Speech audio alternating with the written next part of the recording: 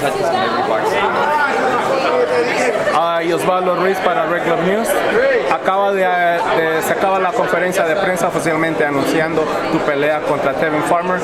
Dinos lo que pensaste, lo que dijo el muchacho ahí cuando tomó el micrófono, dijo que simplemente él te va a parar, no, va, no vas a llegar a enfrentarte a Shakur Stevenson. Son sus pensamientos, sus metas.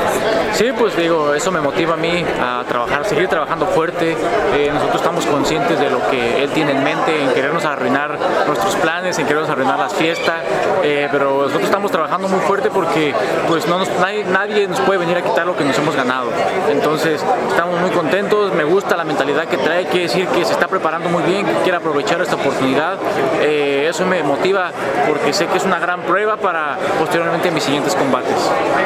También este, hizo un comentario que todos los jugadores obviamente van a dejar, dejar toda una línea, ¿no? Es que se mueren a raya y es lo que dijo, iba a ser esta vez contigo. Este, basado en la pelea,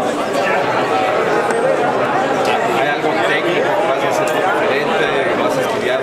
Bueno, pues en su última pelea no se vio mal, se vio bien, eh, creo que me sorprendió, lo habíamos perdido un poquito de vista de, del radar, salió a, a, hacer una gran pelea contra un gran rival como lo es este Murataya, eh, creo que eso dejó marcado de, de, lo que es capaz Tepin Farmer.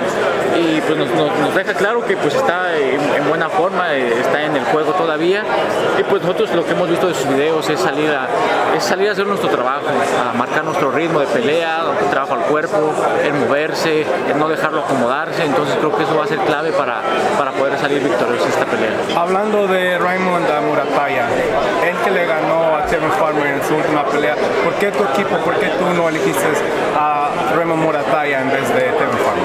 Bueno, pues ahí eh, desconozco cuál haya sido la razón. A nosotros simplemente nos ofrecieron, estaba eh, Denis Berinchen en, la mesa, estaba Shakur, que no se dio la pelea, estaba Tevin Farmer, nada más, se nos habían mencionado esos nombres, pero yo digo que en cualquier momento igual se puede dar una pelea con Murataya, la verdad es un gran peleador, un peleador muy fuerte, un peleador joven que a lo mejor no está tanto en el foco como otros peleadores que a lo mejor no merecerían que, estar ahí, pero creo que Murataya es una muy buena opción y creo que sería una gran pelea entre eh, mexicanos, se puede decir.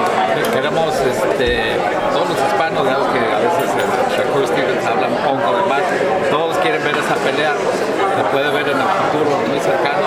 Ya estamos, de hecho, eh, por eso mencionaba a Tevin Farmer que, que, nos quiere arruinar la fiesta, los planes, porque estamos ya en pláticas para que se dé en el primer trimestre del año.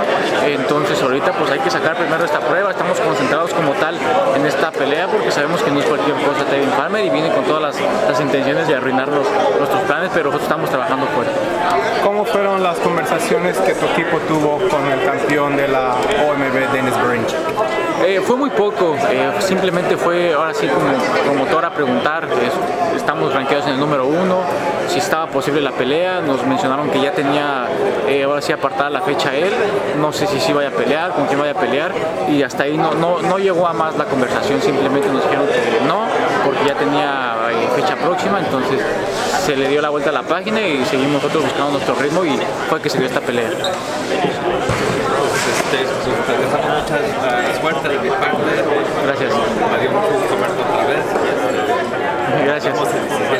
Hay mucha suerte y esperemos que agarres esa oportunidad contra Shakur Stevenson. Gracias. Gracias.